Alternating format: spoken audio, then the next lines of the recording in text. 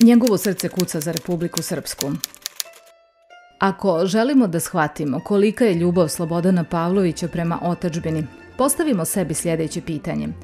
Koliko bi nas napustilo Čikaške avenije i prednosti koje donose Sjedinjene američke države i vratilo se u rodni kraj sa samo jednim ciljem – pomoći sobstvenom narodu da izađe na put oporavka i prosperiteta. Nema u tome ništa čudno. Ja u srcu nosim otačbinu. Svako veče liježem i svako jutro se budim samo sa jednom pomisli. Šta još mogu da uradim za moj narod? Da ima srećniju i lepšu budućnost. Nema grešne gordosti i nerazumne sujete.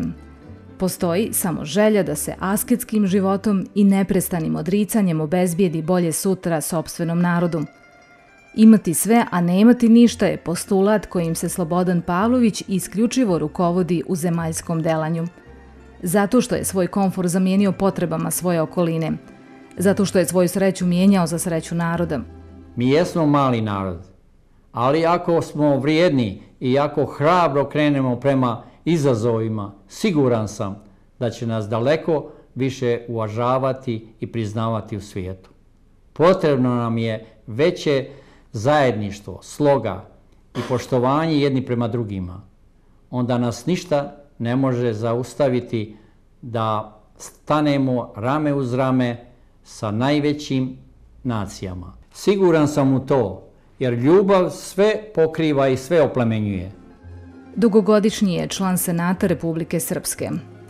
Iako je tvoreći i delajući iza sebe ostavio grandiozne objekte kao svjedočanstvo sobstvene misli, začaraće vas bezazlenošću i prostotom duha.